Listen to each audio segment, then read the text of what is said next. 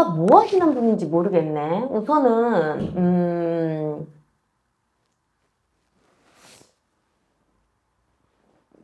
뭔가 불쌍은 보이는데 그렇다면 무당이어야 되는데 대신인 할머니나 뭐 신의 기운이 그렇게 강하게 느껴지시는 분은 또 아니고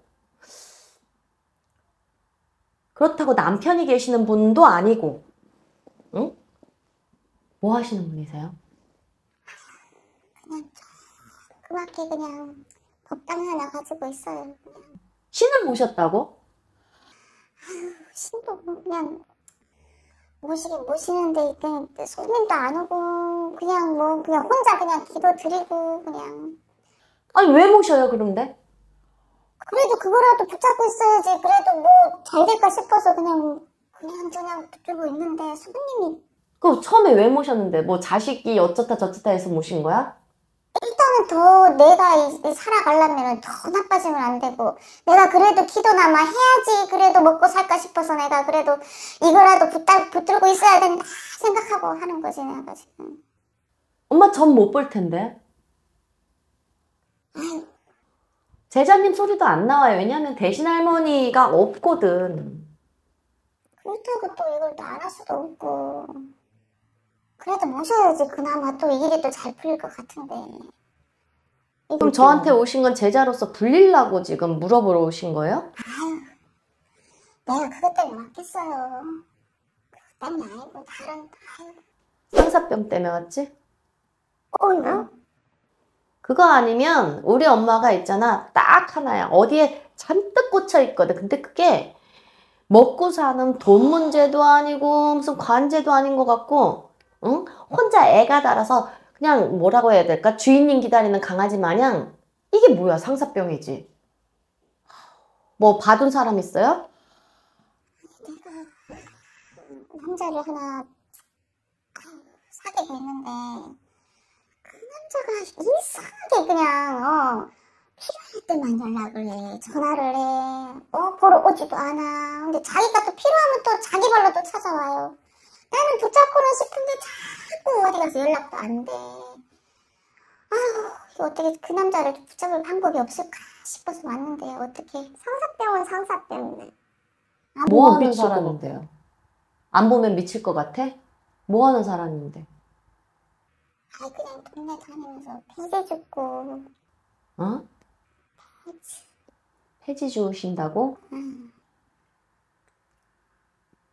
어떻게 만났대?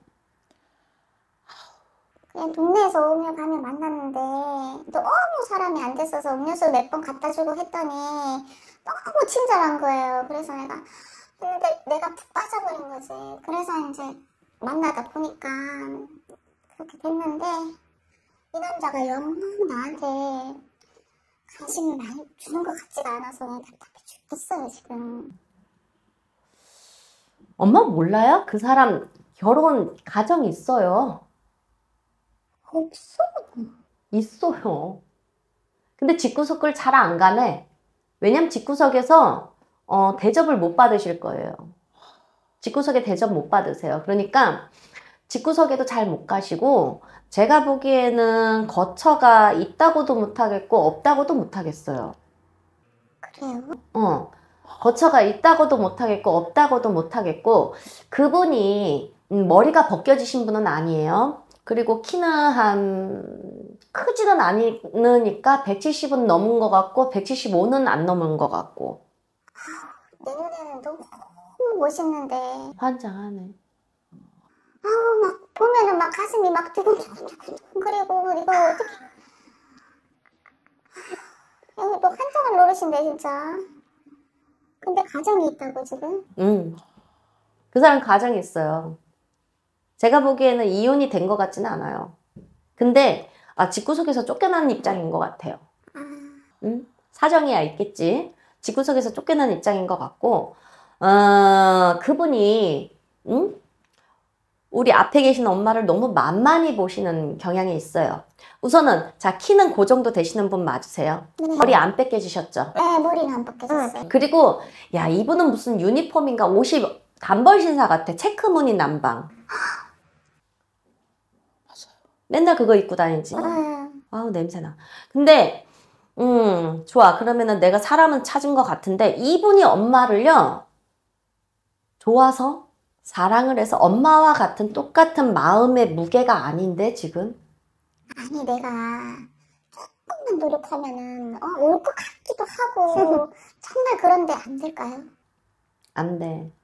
엄마.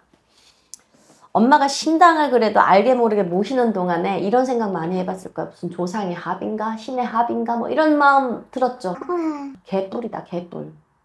툭 까놓고 엄마, 음, 사람을 나, 이렇게 나쁘게 말하거나 어떻게 외모를 가지고 얘기를 한다는 것은, 어, 참, 해서는 안 되는 말인데, 음, 솔직히, 솔직히 엄마 툭 까놓고 얘기해서, 엄마가 예쁘진 않아요. 그건 알지. 그리고 엄마가 처음에 가정을 실패한 것도 외모 때문에 남편이 밖으로 돌았어요. 아, 그리고 심지어 불 꺼놓고 첫날 밤 치러야 돼. 남자 입장에선 솔직히 엄마 미안한데 뭐 어떻게 어떻게 안 되겠어?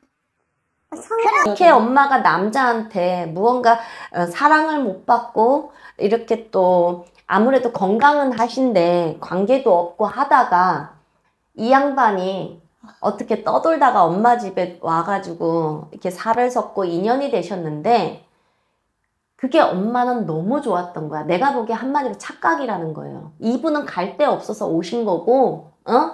옆에 여자가 있으니까 치마만 두르면 여자니까 마찬가지로 불 꺼놓으면 모르니까. 근데 불 켜고 엄마를 보면 솔직히 정이 안 간대. 뭐 보시는 분이 어떻게 어떻게 선생님 가인 선생님이 말을 저렇게 하시나 할 텐데 그분 입장에서 그분의 직성의 입장에서 제가 말을 그대로 전달을 하는 거예요. 외모가 마음에 안 든대요. 그리고 우리 엄마는 조상의 인연이다 신의 인연이다 이런 거 갖다 붙이지 마시고 엄마가 사람이 그리웠고 특히나 남자가 그리웠어요.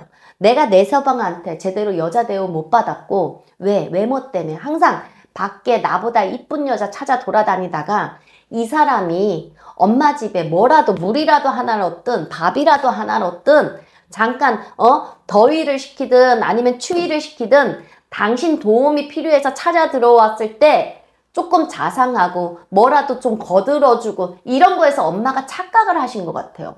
제가 보기에. 그러니 엄마 앞에 나타날 때는 내가 아쉽고 갈 데 없고 그래서 찾아오는 거니까 당연히 상냥하고 자상하고 부드럽게 대하실 수는 있어요. 그런데 그게 당신을 이성으로 생각하는 여자의 마음은 없네요. 제가 보기엔. 자, 키는 170에서 175 되시고 머리는 벗겨주신 분이 아니신데 이분이 무슨 트레이드 마크처럼 단벌스타처럼 체크무늬 남방을 입고 다니는 분 맞잖아요. 맞죠?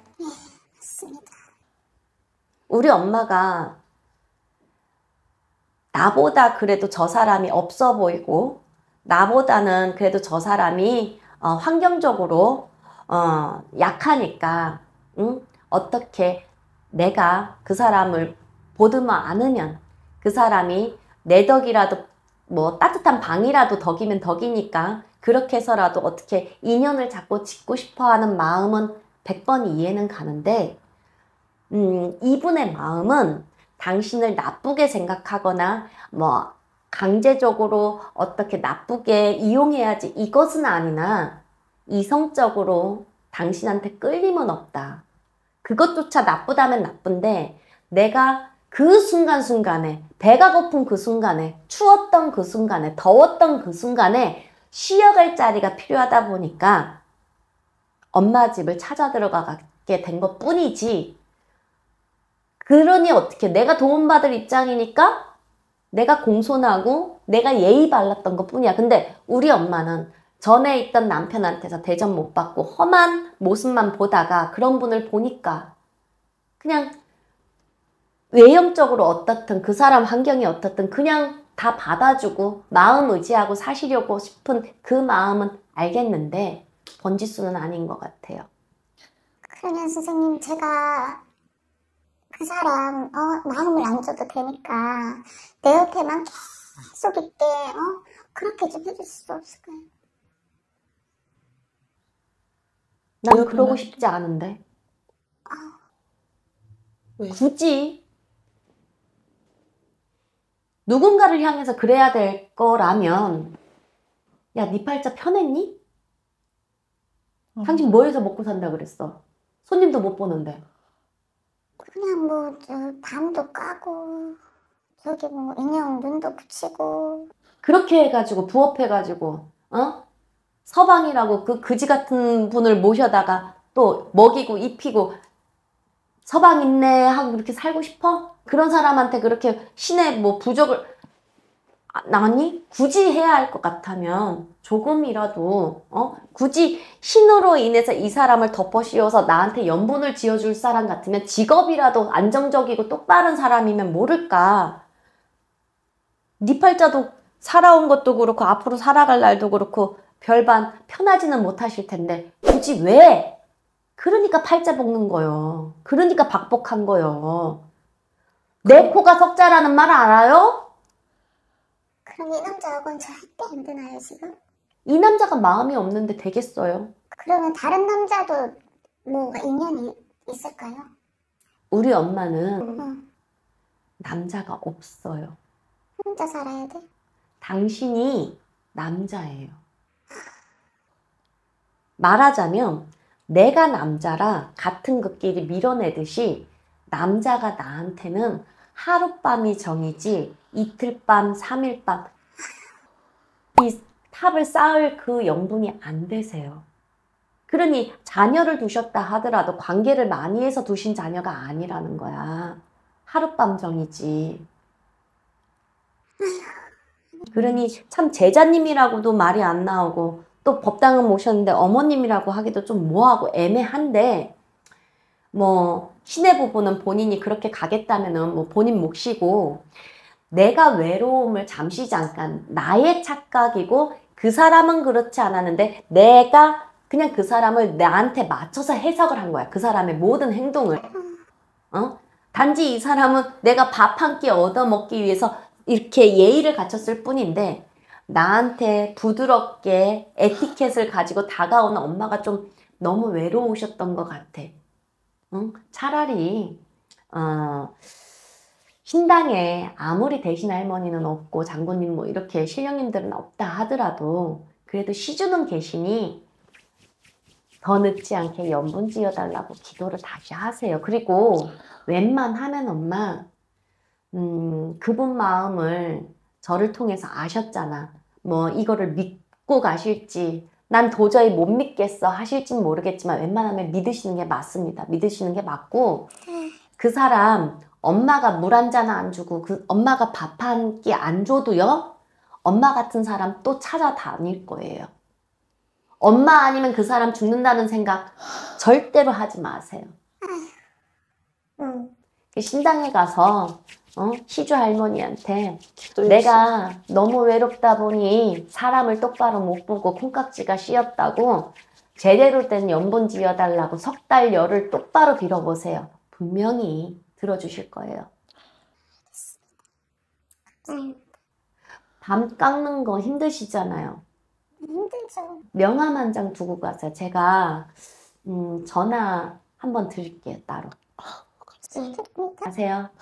감사드립니다. 네.